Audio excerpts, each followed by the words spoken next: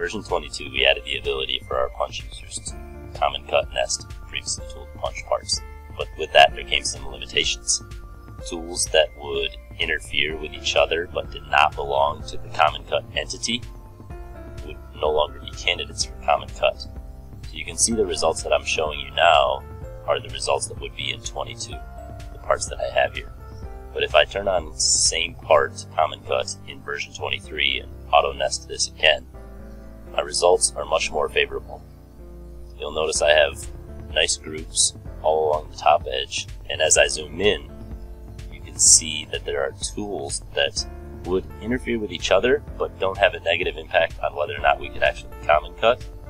Now there is some floating scrap that will have to be handled by our punch NC, but these nice little groups make for less hits and less tool wear.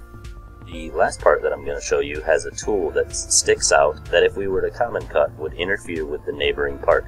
We recognize that and choose the other edges for common cut. And the best part about this nest is now all of our parts fit on one sheet instead of two.